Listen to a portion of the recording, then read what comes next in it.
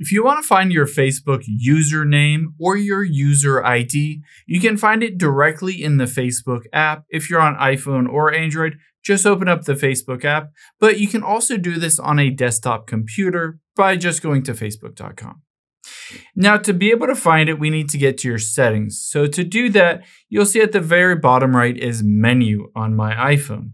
If you're on Android or a computer, it'll be at the very top right. Just tap on that and we need to get to your settings first. So scroll down here and you can see settings and privacy. Just tap on that to open it up and tap on settings here.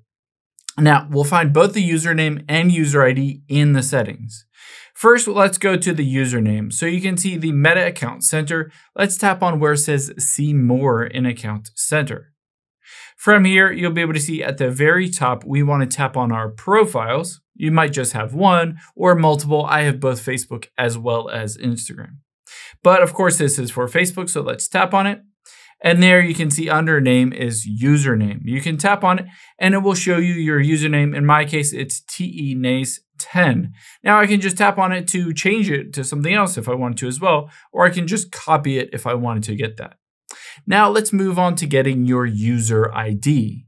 So let's go back out of here and your user ID is different from your username. So let's get back to the just general settings of Facebook. To get that user ID, you have to have a linked service to your phone and to Facebook. So let's scroll down from here in the settings and you're gonna look for the option that says apps and websites and tap on that. Now, what you're looking for is an app. In this case, I just have Spotify linked to Facebook. If you don't have anything linked already, you can always just basically link something up. You can go to Google and type in something like connect Spotify to Facebook or connect, you know, TikTok to Facebook or ChatGPT to Facebook or something like that. Basically, there are tons of different services where you can connect a service to Facebook and just log in through that.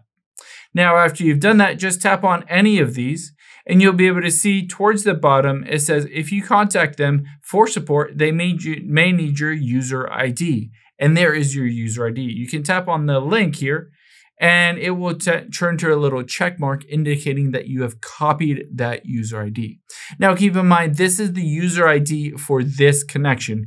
Keep in mind there might be a different user ID if you have a different app or website connected to Facebook.